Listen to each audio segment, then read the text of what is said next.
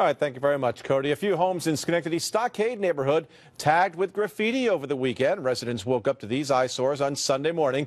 CBS 6 spoke with investigators just a few hours ago. They tell us this sort of thing kind of comes and goes in terms of frequency. They say it's difficult to catch the person in the act.